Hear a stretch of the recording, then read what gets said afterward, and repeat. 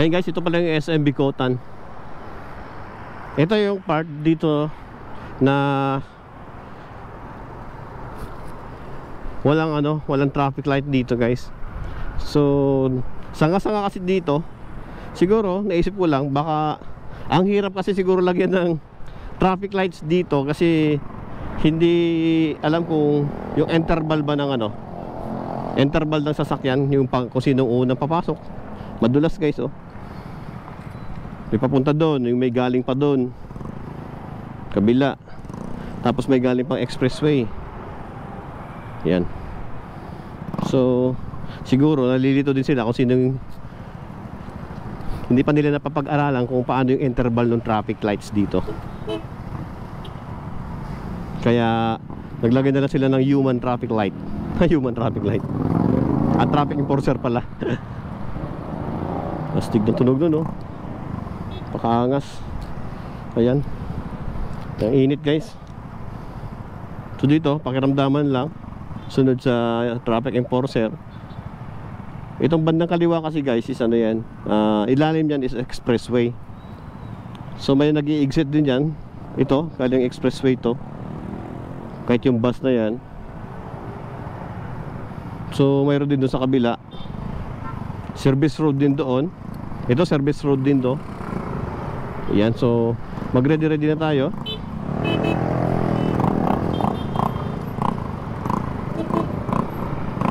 Yan o so galing dito sanay na yung tao dito kung kailan sila papasok.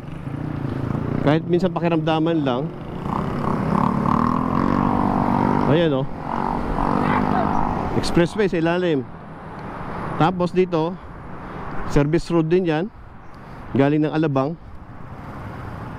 Yan so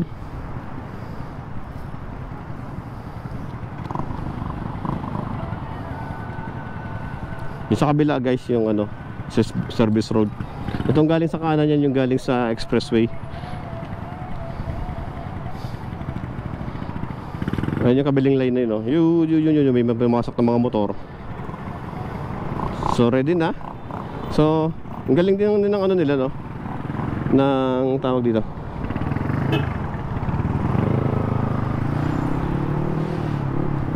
Galing din ng coordination ng mga traffic enforcer dito. So, tawag-tawag na sila sa kanilang lapel. Ah, lapel. Ang tawag doon? Lapel. Angas ng motor ni kuya, oh. Interrupt ako sa kanilang radio radio radiogram radiogram ah yun diretso tayo guys. Pasok tayo ng C6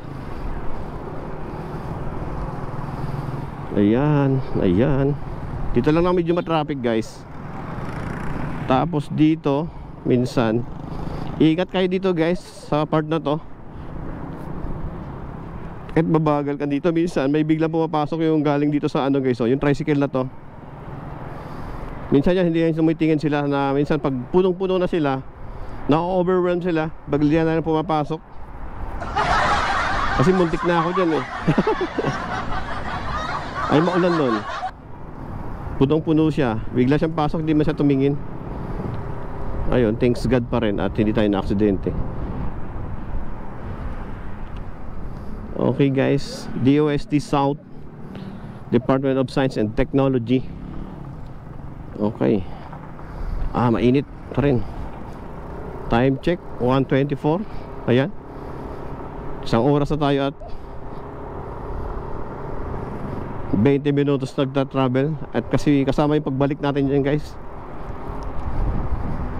Nakalimutan natin ang ano Itong top box ko